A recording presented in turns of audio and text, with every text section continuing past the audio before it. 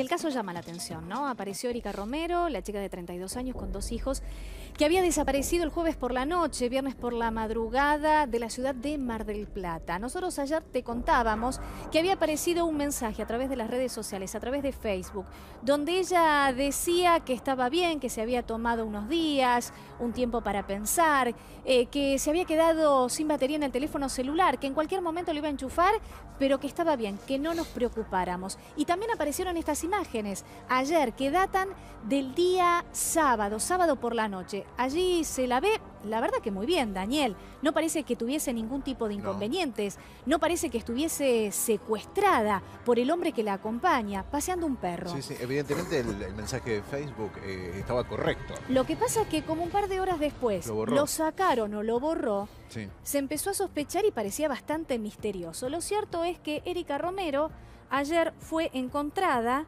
en la casa de este hombre. No trascendió quién es, la relación que mantiene con ella, ni tampoco el nombre de esta persona. Fue llevado hasta la dependencia policial, eh, habló con el fiscal y ¿qué fue lo que dijo? No pensé que iba a ser para tanto. Me siento bien, me fui voluntariamente. Y la verdad que es raro. Es raro, claro. irse voluntariamente es un tema, porque si no le avisas a nadie, obviamente alguien en tu familia, si tenés familia y tenés un vínculo normal. Sí, eso es otro tema, pero si tenés un vínculo normal con tus familiares, alguien va a hacer la denuncia, obviamente. Y más en este contexto donde eh, la mayoría de, de, las chicas que han desaparecido, por lo menos de los casos que surgieron, terminaron muy mal. Entonces, obviamente, tu familia se va a preocupar y va a hacer la denuncia. Ese es un tema.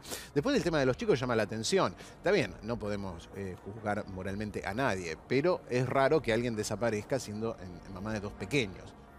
Qué sé yo. Ahí, ahí eh, había un punto que los eh, investigadores tenían muy en cuenta. Decían, es raro, no puede desaparecer eh, tan fácilmente como decía el, Facebook para tomarse un tiempo, que obviamente cualquier persona puede estar abrumada por la rutina, lo cotidiano, o por ahí tener alguna situación de complicada, de incomodidad con la pareja, entonces se toma un tiempo, pero creo que lo hace de, otra manera, ¿no? Avisando, diciendo que tiene que tomarse de tiempo. Ahora, están los chicos de por medio. Sí, sí, quiero pensar que algún problema psicológico debe de tener, porque si no, no se explica que una mamá deje a sus chicos de 4 y 11 años y a toda una familia sin ningún tipo de novedad, ¿no? Eh, sin decirle a dónde voy, sin estar conectada.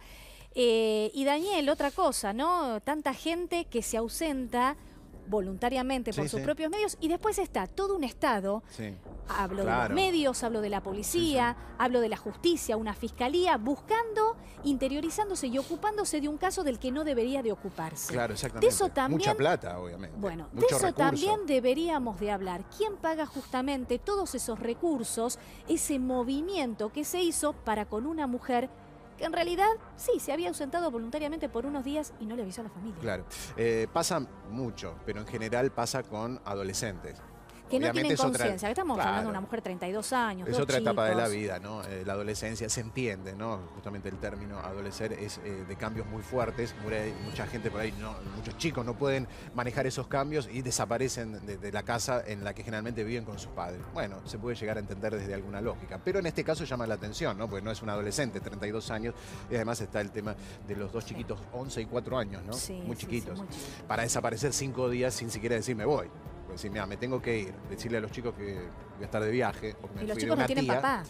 No, mantienen la relación con, su papá. Ah, ¿Con alguien habrán quedado?